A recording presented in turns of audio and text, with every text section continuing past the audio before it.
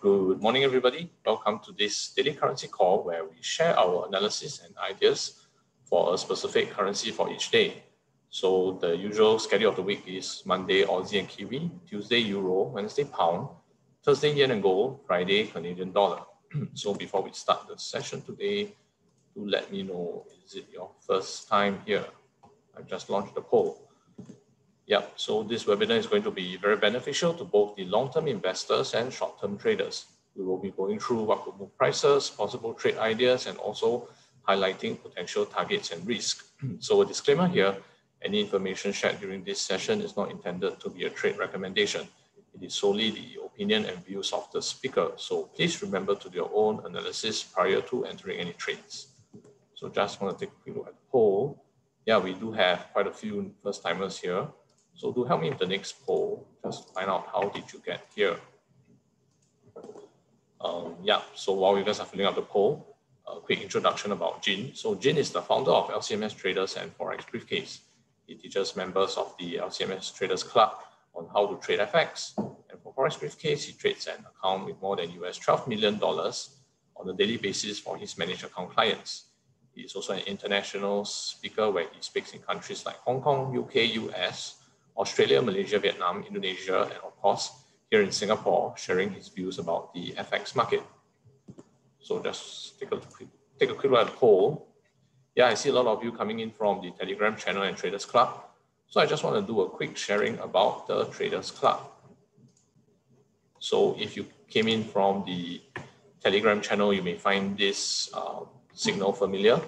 We we guide you on how to and when to enter the trade, but you do not know where to exit. So in the Traders Club, we not only give you the signals earlier than the Telegram channel, we also tell you the strategy behind the signals, and we guide you on. Uh, with we post up the analysis with images too, and we also guide you on where to exit. Um, why we, do we do this? So that in the long run, you not only earn from the signals, but you also learn how to trade better. Um, yeah, if you are new to trading and require some coaching, we have uh, two times a week webinars on Monday and Wednesday. So on Monday, we do a little bit of group coaching, economic, uh, develop, recent market economic developments updates, and also uh, run through trade ideas. And also on Wednesday, we do live trading session where real trades are entered live. So this is the best time to learn from Jin, go through the thought process, and you know pick Jin's brain on pretty much any trading related questions you might have. And lastly, we have a wide range of analysis for club members, like the currency watch list every, every single day, weekly correlation tables, um, tra daily trade ideas, and of course, tutorial videos like the 4-Day FX Kickstarter is all here to help you get started trading. So we have all this information here, shortcutting your way to trading success. So to join the group, so this is a Facebook group. To join this Facebook group, it's a paid subscription of 199 a year, which is less than a dollar a day. So if you're facing any uncertainty in your trading, this is the club to join. You need to get some guidance towards profit and some coaching to improve your confidence, confidence and strategy immediately. So trading can be lonely, but with a community of coaches, senior traders, and of course, Jin here to guide you, trading can be enjoyable and definitely more profitable. So if you haven't already, hop on this link and click on this button, 199 a year, and join now. So with that, pass the time now to Jin for the currency call. Good morning. We are live here Monday morning, 1st of March. So two months done with the year, another 10 more to go. How has 2021 been? Right. Uh, I hope it's been good for you now. We are on Monday, so we are talking about the Aussie dollar and the Kiwi dollar. We have the Reserve Bank of Australia rates decision and rate statement tomorrow morning. So, you know, we're going to go through that, telling you what to pay attention to in terms of what could move the Aussie dollar um, possibly significantly higher. So those of you who are joining us on Facebook Live, the link is there in the comments. Please feel free to join us on the Zoom call right now, just because the chat is there so you can ask questions, you can, um, you know, have all that other information if you require. So let's get started looking at the news. I'll get to that one. Okay. So forextradingasia.com, as usual, head there for your economic um, analysis and more importantly, the economic calendar. today is Monday, looking at the news that we have coming up today. Uh, we just had the, well, just at 9.45 a.m., the Chinese Caixin manufacturing PMI. That gives you an indication of how the Chinese economic data is looking the PMI numbers going from 51.5 to expected was 51.5, came out at 50.9. So what we see here is that drop going from 51.5 to 50.9, but in terms of a PMI number, it's still in the expansionary phase. So this actually led to that you know big jump up in the Aussie dollar. One of the reasons why we saw that big jump in the Aussie dollar. Following that, today, not a lot much news that could move the Aussie or the Kiwi dollar. Some pound news, euro news, not going to do too much. Um, and then some US PMI numbers coming out later, later tonight. So, Traders Club members, um, we have our call tonight as well. I will be giving you some more information on preparing you for that manufacturing PMI um, and also the ISM manufacturing PMI for the US dollar. I think there might be some good trading opportunities coming around with those two news.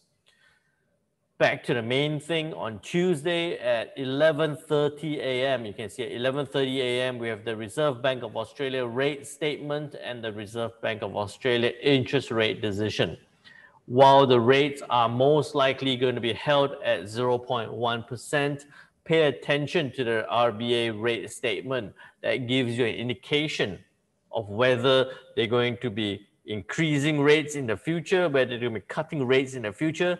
In my view, they're likely to do neither. They're probably going to say that they're going to hold it at 0.1% for a long period of time until they reach that stability, the economic stability the employment and also the inflation targets of 2%. So the main thing is also whether they're going to say um, that's that line, that one line that they're going to say that they're going to remain flexible and take action if required. Out of all of this, I don't expect much changes coming from the rate decision or the rate statement, which is actually a good thing no changes means there's a level of stability. With that level of stability, we could actually see some strength come around, come back to the Aussie dollar. The Aussie dollar had that big drop last week. Um, with some strength coming around, we do see very good buying opportunities. But remember, any trade you do in this first week of the month, you're going to know that you, have a lot of trades. So you have the Reserve Bank of Australia here um, on Wednesday, we have the New Zealand building consents. It's like building permits, but not too keen on that.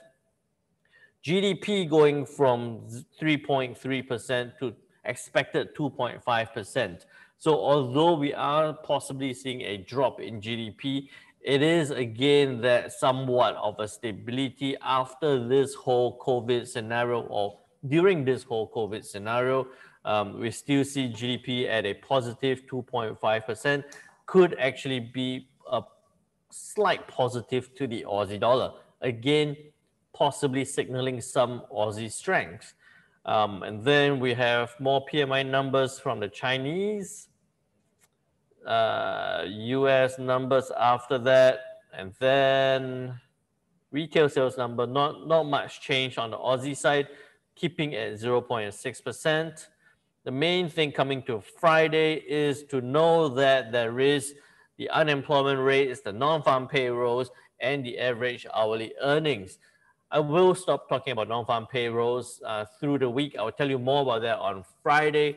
But for any trade that you try and get into right now, you need to know that we could see that um, non-farm payroll have a big impact on you know across the board because this is the U.S. dollar we're talking about. So with that said, how it looks like on the charts. Um, this is the Aussie dollar on the H4 time frame. Aussie dollar on H4 time frame. Last week, when Daniel spoke about it, um, he said that it was going to come down from this point. I was zooming once, a bit easier to see. He said it was going to retrace back down. It did exactly that and go up to test that 7950 level. It not only tested that, it broke above before reversing sharply back down. This big reversal, that US dollar strength that we saw um, in the later part of last week was across the board.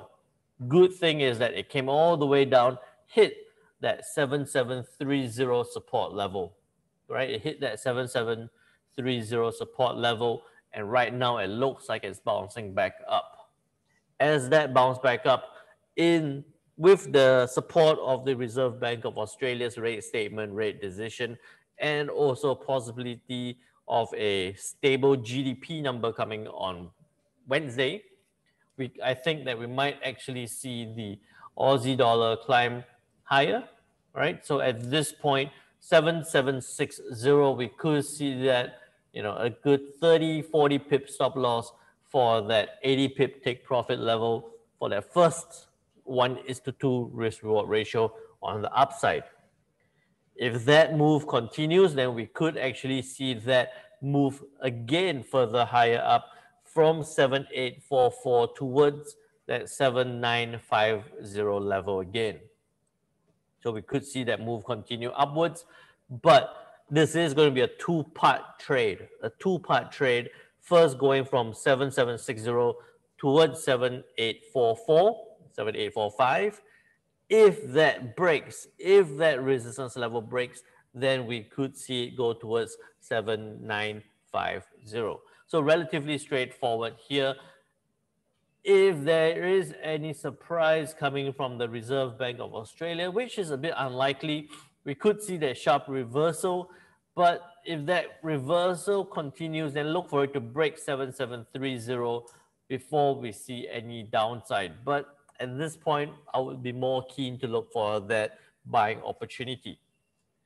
With the Aussie dollar done, looking at the New Zealand dollar again, same thing. Not a lot of news here for the New Zealand dollar, but we did have the Reserve Bank of New Zealand last week talking about the rates and the possibility of you know projections into the future. Same thing, New Zealand dollar went through that retracement, hit 7293 before going up to test 7400. Not again, not only did it test that level, it broke above, went outside of Bollinger Band before coming sharply back down. Right now, it's bounced off 7225. It's very close to 7293. So I'm not looking for any trades at this point, only if it breaks above 7293 towards 7400. So look for buying opportunities. I'll be a bit more specific here. Look for buying opportunities from 7315. You have a 30 pip stop loss for that 80 or even 90 pip take profit. Risk reward of one is to three. Okay. But this is where you have to be very patient. Let it move that 30 something pips upwards before you get into a trade, let it break that 7293 resistance level before you look for further upside. With that said, you know, we do have a lot of other news coming around this week. Uh, we have a lot of pound news. We have the US dollar um, non-farm payrolls as well. Make sure you join us for the other currency calls throughout the week. And with that said, I will pass it back to Chinwei. Okay, thank you, Jin. So um, I've just posted up some links in the chat. Before that, do help me with this poll, let me know what do you guys think of this webinar. Yeah, I've just posted up some links in the chat. Um, subscribe to our YouTube channel for the daily recordings, Telegram channel for the free Forex signals, Traders Club link, uh, four-day Kickstarter link, and also the, oops, there's uh, and also our Forex briefcase link if you are looking for a managed account service. Yeah, so like Jin said, tonight we have a session for the Traders Club members. Remember to join us. And for the rest of you, uh, see you guys tomorrow for the Euro currency call. Thank you so much for your time. See you guys tomorrow. Bye.